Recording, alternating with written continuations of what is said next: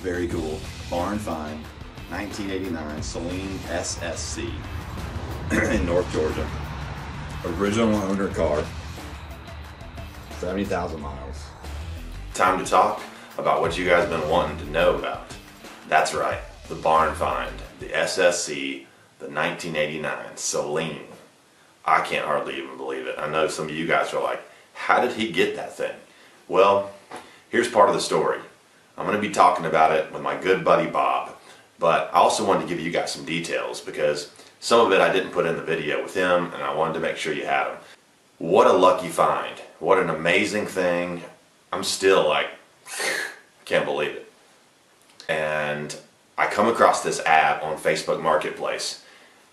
It was an ad where the guy selling the car did a Google search, all right? An image search for a Saleen SSC. There was like eight little pictures, right? Then he clipped it and did a screenshot and posted that one picture. That was all that was on the ad. The only picture. There was no real pictures of the car. So I thought, you know what? I really like these things. I've always wanted one. I'm always looking for cars. I'm always wanting to find that deal, looking to say, could this be the one? I don't want to miss out. So I clicked on it. I was like, you know, if it's a scam, I'll just go through it anyways. We'll figure it out. And there was a little bit of description in there. Then I said, you know what? Let me message this guy. So I messaged him. I messaged him again. Finally heard back from him. He had somebody, you know, that was supposed to be coming in maybe from out of town or northeast somewhere, but they wanted him to hold it. And so he was like, nah, I'm not going to hold it. So I said, look, I can be there at the end of the day because he was at work. And he said, look, I get home at 6. I'm like, I'll be there at 5.59 waiting in your driveway. So I did. I showed up to Chatsworth, Georgia, which is about an hour and a half north of my home in Roswell, Georgia, just north of Atlanta. I got there with my good buddy Brandon, and we, we made the deal happen. And it was such an amazing experience because I couldn't believe the car was real. He did send me some pictures before I went up there, but I still was a little bit hesitant. And so I'm so glad that I went because to find that car in the condition that you're seeing in this video, I'm showing you some original barn find footage. Some of it I haven't shown anyone yet um, of us loading up the vehicle. And what was really amazing was all of the original paperwork, which I'm also going to show you in this video. The, the title for the car the, was the, the original owner's name, which was the guy's grandfather that had passed away years ago. Um, the original Saleen window stickers, the um, service records, the information I found on the car that is a John Bleakley Ford car. That's who it was ordered from. It was sold from John Bleakley Ford originally. I must have been a transfer to Chatsworth Ford because it was sold there in the early part of 1990.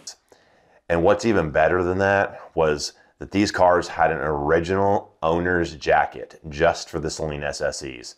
And of course, you know he had it. It's priceless, it's spotless. There is not a stain, not a rip, not a thread out of place. The jacket was in great condition. If you look in the video, you can actually see it when I open the passenger door as we're going up on the on the uh, wrecker. It's right there sitting in the seat. I put it in there. This car is just such an amazing car. I'm so glad that so many people reach out to me on Facebook and Instagram and other places. Said, man, I got a story. You need to hear it. And so I actually want to go and I want to read some of these to you guys right here, right now. Tony Welch said, lots of us try to buy it over the years, but not luck. Congratulations. David Mathis, dream car. I took a few pics of this thing at the guy's house one day when I stopped in. Matt Summerfield, definitely 2500 look at the driver's side window. Why can't I ever find a deal like this? Laugh out loud. Congrats on the find. Cody Fars, 2500 question mark like 80 times. No way, bro. Did you really? Wow. Says Mike Clay. Delbert Clark. Oh my. OMG, this might be the best barn find ever. Congrats, brother. What'd you get it for? Mark Richards said, beautiful car. No way it was 2500 Sorry. And a little laughies emoji. Charles Weber. Best barn find ever. John Hardy. We got three explodey head emojis. Jacob Harris, 2500 emoji. Dave J says, they're still out there, boys. Jay Scarpone says, no way. Tim Young, can't wait to hear the story. Well, Tim, you're hearing it. And we are talking about the legend of Highway 411, the barn rescue that I got last October in Chatsworth, Georgia. So, Bob, how you doing? I'm good, man. Thanks for having me here. No, I, I appreciate you coming down. He drove a few hours to be here, and uh, this has just been a great experience getting to know Bob a little bit. And I tell you guys, when I say, and you probably already know this, hopefully you follow him on Purist Motorsports, but he is just an absolute resource for anything really Saleen related or Fox Body in general. So thanks for being here and so much that you do for the community and the hobby. So you're calling me a nerd, right? Yes, absolutely. Foxbody nerd, numero uno, right? Yeah, yeah, yeah. That's true. That's You true. know, so the reason I got Fox, I mean, I got uh, Bob on the video about this car is because we started communicating about this car once he realized who got the car. And I said, man, you got not just the knowledge, but he didn't live that far from where the car was. And he's got some interesting information that I don't and I didn't have. So I wanted him to be on part of this. So we're going to start with the backstory of this car, and then we'll get into what I paid and how I got it and all the things you guys really been asking about. So Bob, give us some of that background, man. We want to know the legend of Highway 411. Well, for me, I, I had, uh, my best friend in college lived um, not far from the car. As a matter of fact, uh, those are familiar with the area, Mathis Mustang Performance, MMP, uh, in the area, anytime he had to take that route to go to visit Mathis Mustang, he would go by this car. Um, and I met him in about 97. That's when we connected in college. And that's when I was introduced to this car. We were driving down to Mathis Mustang Wow. cruising from his house. I probably went to do you know baseball cards or something like that, and then ended up uh, getting in the car, going down to Mathis Mustang, look for parts because you always have used parts. And, Yeah. you know, it's a junkyard. So we drive by, and I'm like, "Whoa, what's that? What is that? what is that right there?" And he's like, "Oh, that's the that's an SSC. That's uh, locally owned. That guy bought that car, and it's sitting out in front." No garage or anything. It's just sitting out in front of the front yard. Was the garage even built at that point? Yeah, it was in the back. I mean, it was just a little Garage slash barn, whatever. Yeah, There's no I mean, door. No, and it, I mean it really is like a small barn, and I think it was more like they kept it, you know, the little tractor stuff. It was, they had, Yeah. you know, it was a, a fairly decent sized property. Yeah, a little. Yeah. So, but yeah, it sat out front, and I was like, man, what is what is that there? And then at the time too, I was still learning about a lot of what Saleen had to offer, the SA10 and some of the details. But this car was local to that area uh, from day one. It sure was. And I, every time I went down Highway 411, it was there. Uh, up until just a few years ago, then it had disappeared and moved. They put it back in barns. So- Yeah, and that's what I heard from multiple people that you know some of you guys have reached out to me on Facebook, and so they're like, hey, you know that car that got that the lady backed it up into the barn because so many people came by and what they do? They tried to buy it. I know of. I personally know of two people that I can name right now, and if I really thought about it, probably four people that they literally knocked on the door and were told to go away. Um, a couple of them, I think, she, probably had a, a weapon. I don't couldn't say exactly what it was, but I, I do know that she told them firmly to go away. It's not for sale. Yeah, And uh, a lot of people tried to buy this car. A lot of people. Um, so I, I can think of two right offhand, and probably four um, that had the number, like phone number. We'll call the lady. Oh wow, Mhm. wow, So- that's really connected. Yep. Yep. You know, it's amazing because you know you knowing that backstory and seeing the car since like the '90s. I mean, here we are in 2022. I bought it at the tail end of 2021, right? And, and for three years it sat in the barn. But before that, I mean, the car has 77,000 miles on it, and it was obviously well driven. Yep. When I got the car, I found a couple of things that that was corroborated by some other locals in the area. And one of them was there was a notepad, uh, a hostess pad from the Western Sizzlin in that area. and somebody reached out to me on Facebook Messenger and said, I used to see that car at the Western Sizzlin near Chatsworth because I guess the lady would go and drive it there and she worked there for a little while or something and it was underneath the back floor mat. Um, you know, it, it was in a small town, so I don't think that it would have had a high mileage. I mean, if you consider that, I mean, it's probably high mileage for a An collector SSC. scene. Yeah, Yeah. somebody would buy it and park it and not drive it much. He drove it a lot, almost every day. Wow. Um, that's what I was told. I didn't Yeah. know them personally. I just know that I have friends that live in that area. Um, well, Chris, guy was telling you about, Yeah. that we were cruising by, he lived one mile from 411. uh, on your way to Ocoee. So that's Yeah. where he grew up. And anytime they went to Georgia, he took 411 because you're right there. Yeah. So they passed this car probably hundreds of times over the course of 20 years, just driving through. But it was one of those things where it, it the guy, one of the guys that connected on it, um, lives up almost the Kentucky-Tennessee border. Yep.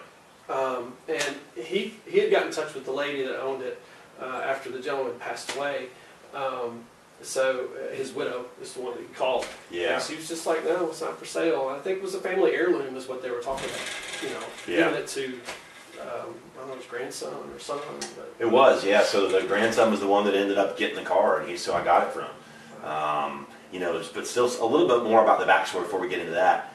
You know, a lot of people mentioned that the car was driven, and they would see it in and around and stuff like that. And another thing I found was probably five or six different receipts, like parking passes for different like NHRA events. I Yeah. mean, so he would drive it to other states. You know, go to Daytona. He would go to Indianapolis, and he would drive this car. That's awesome. I mean, so a limited car like this, just driving to the event, it was well loved. Yeah, it was, and it's actually uh, you know for for what it is, um, and how much he drove it. Like this is all original paint, It is. all the way down. Because the the one quick way to tell on the SSCs, um, there's a laser etch line that runs all the way down the fender, There sure is. all the way down. And I did not know that. and you can see it if you catch the light just right. This guy. I And love that that tells you it's an original paint car. Now, I, I, to the argument, some people will buff over areas and it will make it where it's not so pronounced. So you have to obviously paint gauge, but this car, it's very obvious. You can see it. the It work. is. It looks like somebody keyed the car straighter than an arrow. Mm-hmm. I mean, it's amazing. And it's funny because, you know, I haven't had the car that long, but I haven't even noticed that line. Really? No, I did not notice it. You know, I may have noticed, like, here it is, and then there's a scratch here. And so there's a few scratches right here. And here's what I was told. I don't know if it was you or someone else, but there was a bunch of dogs on the property, and the dogs were always probably jumping up on it, which makes sense because there's all these low scratches right around here, Yep. which hopefully a lot of those will buff out. We got a few rust things, and you've given me some great tips on repairing some of that. But, you know, Bob, if you don't know, please, again, check out his channel, Pierce Motorsports. But he knows so much about these cars and has rebuilt uh, just amazing cars himself. Yep. But the details on this car, you know, you've kind of been here for a little while today and kind of looked over it. Now you've gotten up close to it, where before you just passed by it on the road. Right. I've, I've never know. been this close to this car. like, you know, within probably, you know, 80 or 90 feet from the road, but that's it. and We're driving by. It's not like you, we talked about earlier. It really Yeah. wasn't a place you could just drop in on. Right. Um, so the, what I have noticed about the, I mean, it still has the original Monroe shocks and struts and adjustable suspension. You said it lit up, It did. which is good. That means the Definitely. control box works. The mufflers are original to the car. They actually have the super turbo uh, embossed Wow. in them. So you know, it, for it to have as many miles as it has on it, for it to be an original paint all the way around that I could see, it's it's it's a gem, you know, and it's it's one that's I know people would want to restore it, and I've even pushed you, like just just just put some love into it. It's Don't why I haven't really it. done too much, you know? Leave it the way it is. I'm like continue to think about it because if I think about it a little longer, I feel like I'll kind of you know throttle back a little bit. Yeah. You know, because we all have tendencies to want to do more. Yep. Uh, and then you get in there and you're like, while I'm there, I don't want that on this car. So I even waited till today for you to come down. You know, I was talking to Brandon and there's another SSE right behind me, a mint fresh, like crisp one that we might show you guys. But this car, it's so hard to decide what to do to it. You know, so see, can you give me your your take and tips? Like, what should I do to this car? So it's interesting. I have an '89 Saleen in the shop, in my shop right now, um, and you can check out a couple of videos that I'm doing on that. And, and we're taking the same approach um, that I would recommend for this car. We're leaving as much original paint as possible. There's some scratches like on the door, but the key to something like this that makes the big difference to me is if you were to touch up the trim. If you were to repaint the trim and replace rubber pieces on it, it really breathes a lot of life into a Fox. Yeah. Uh, because you see windows that are baked and you see trim that's kind of that, it turns into, you know, almost sandpaper looking. yeah, If you freshen that up and then just kind of put some love into the paint, I think you'd be surprised at how good it would look. Now that's to me is what I would do is if it were mine. Yeah. I would I would try to preserve as much as possible because you hear it at auctions all the time. They're only original ones. That's right. So That's great know, advice. And it's it's one that has the perfect amount of patina. There's no major rust. There's you know all the pieces are there that are original to the car. And even if you had to replace them, you could pull them off and set them in a box, Yeah. um, so you could drive it and enjoy it. But it's just Yeah. it's an amazing shape. Even the leather. I mean, it's not split. No. It's all complete. Now it is it's showing its age, but yeah. you know he really did take good care of the car. Even though I mean it sat outside every day. It was Yeah. not in a garage.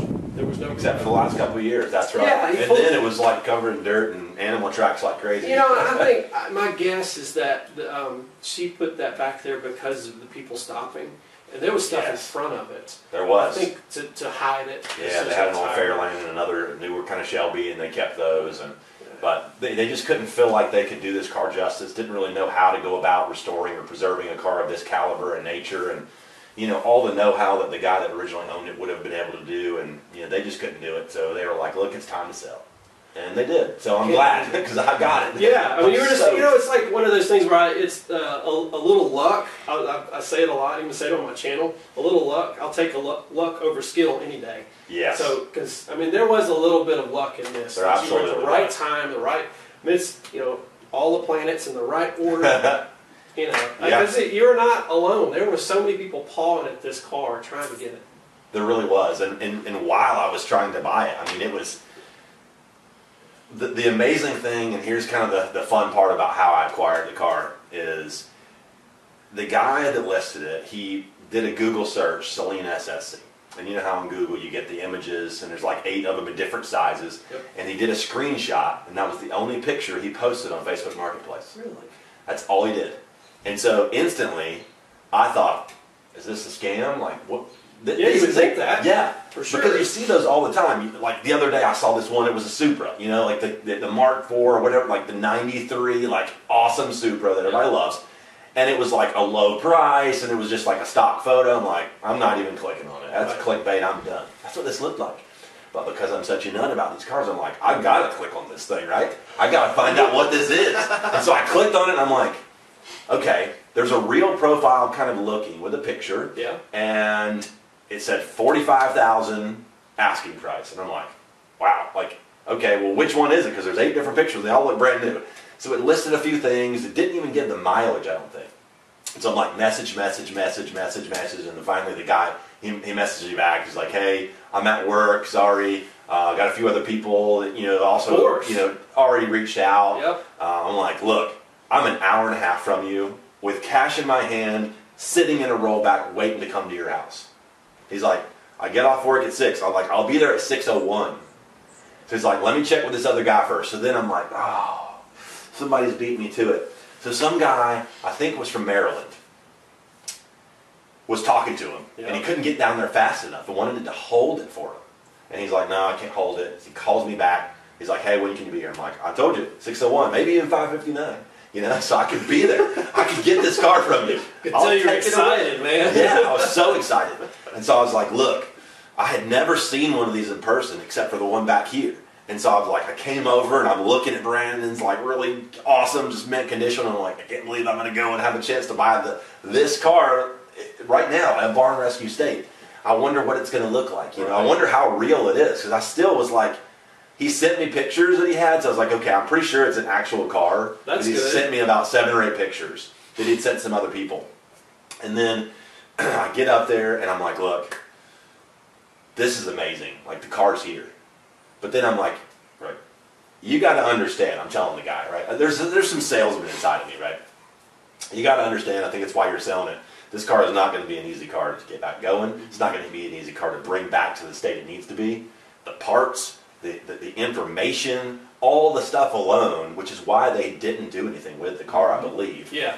and because you know when someone passes i think that's why it sat for three years you know they had to kind of like really let it sit in Well, I mean, this was the guy's car he really enjoyed Yeah, he bought it new, you know, and it's. A, I mean, it's. It, brand new in 90 i got all the receipts they probably didn't want to sell it. I mean, it's if the, if the truth be told, if I had something like this, well, actually, we do. I have my my dad has my great grandfather's '67 Bel Air that he bought new, and for the life of us, even my sisters, my dad, just can't bring it. You know, something within us. Yeah. Can't sell it, and That's it's right. it's not. It's Yeah. in a state of disrepair, and it's not. It's a four door, so it's not worth putting a bunch of money into it. But there's a lot of sentimental value, Mm-hmm. and I bet that that was part of what was dealing. And I'm pretty sure that when it was sitting out front, I would say that that sentimental value, um, she probably got irritated with people coming to the door a lot. I, that's my guess. I, I would. I would. I went back and I looked through my Facebook comments, and I have over 30 comments from people that said they went by to try to buy this car. I mean, that's a lot, and that's probably just the people that reached out. Yep. I mean, so you figure over the years, there could have been 50 to 100 people that stopped. Yep. I mean, that's every month, multiple people coming Well, by. it was parked out front. I mean, it's, I know. it was one of those where, and you could visibly see it. Um, if I drove by, I would have stopped. well, I, I've got I've got friends that we've got pictures of, of it, um, and I, I know we do. And I, I was trying to dig through my photos, um, old pole, you know, the 35 Yeah, millimeter. I've got friends that have pictures of it, and I'm I'm trying to see. It. We're going to dig through all this stuff. I know that. Got some pictures in a shoebox somewhere of this Yeah, car. and we're gonna we're gonna as soon as I find them, I'll give them. I'll send to you. But um, And that's Yeah. why this car is the legend of Highway 411 because it's not like it's just an SSC that somebody owned. I mean, its story alone, the nostalgia for so many Mustang lovers, it was close to the tail of the dragon. I mean, people would drive through from other states to get to it, and it was very well known. Yep. And it was there for so long in the same place you could count on it year after Yep, year. you really could. decade after You know, it's- decade. You know, it's funny you say that because I remember driving by. Um, golly, it's been three or four years ago, and it was gone. Like, and it was one of those where every time I drove by, it was just a staple. As soon as you cross from Tennessee into Georgia, Yeah. Oh, it was like two miles. Yeah, there it is, right there. And you drove by, and it was one of those where almost I, I probably did. I don't remember, but I probably did tap the brakes and be like, "Wait a minute, what?" Because it was there every single time. You went back, and I, I want to say that last time I went by, I was actually going to Mathis Mustang old place, and I've got pictures of it empty, no cars or anything like that. And that was uh, shortly after uh, Dale had passed away. so it was, anyways, it, it was one of those moments where it's like, oh, what was happening? I think on the way back, we, rec- we, we realized that it had been pushed back into the, barn, whatever you Yeah. call it, A-frame. It was an A, it's, you know, it's a little A-frame. That's it right. barn. It's a barn. It's a dust. It's a dirty dust floor. so, Yeah, You know, it was. but I can't believe you got it. And congratulations. Thank you. Yeah, I appreciate it. I mean, that's Yeah. it's. I, I really think you're the right owner for this. If you're you're trying to, you know, what am I going to do? What and you're you're asking questions, the right questions. Yeah. My my opinion of, hey, what's the best route to take with this car? I have my own desires, but let's consider what other people would have for input on this Yeah. because you want to do it justice. Yeah, it's one of those community cars, really. I mean, I own it, but it's a community of the Saleen community. Mm-hmm. It's also a community of North Georgia and the people true. around it. You know, and I want to do it justice, and I want it to be the best that it can be for what this car is. Not that it's just the Saleen SSC, but it is that Legend of Highway 411. It really right? is. I mean, I- I'm designing a, a shirt that's like memorializing, like it's going to be cool. You know, it's that outside of the house near the dragon, and it's just going to be fun. You know, so for me, it's been a, a- quite the experience, and uh, and everybody has asked, you know, what'd you pay for the car? Everybody wants to know that, Bob. And uh, Who doesn't? You know, exactly. Who doesn't? You know, Let's be honest. and, and I, I, I, I alluded to this in the first video. I had a newer 2015. It was an F-150 I bought at a really, really good price. right. Um, I recently lifted it and put some big wheels and tires on it, and I pulled up, and the, and the grandson of the guy that owned it, he loved it. He liked the truck, and so immediately I knew it. I mean, the salesman me goes, I got to get involved in this because I was into that truck really good. And so I was like, okay, I got to get him to trade on this truck, and immediately we, we quick little test drive, and he's in. Wow. Like, I mean, he's in. You know, it was, it was- Again, luck. yeah, it was just it was. He was Right. like, I needed a truck. He was driving an older, um, like an 02 F150 short box, you know, Yep. regular cab, power nothing. So he's looking at this, power everything, you know, XLT four wheel drive lift 135 with method race wheels going. Oh, this is I need a truck and this is nice. Yep. We know how we get those tingly feelings. He looks at this covered in dirt with raccoon tracks on it, going, I don't even know where to start.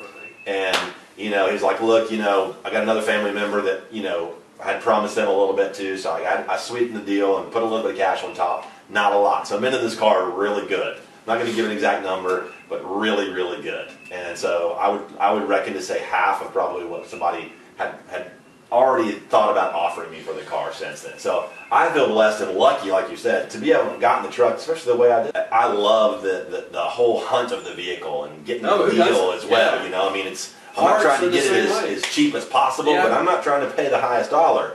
And a, a, a decent deal is fun, but a great deal is even more fun.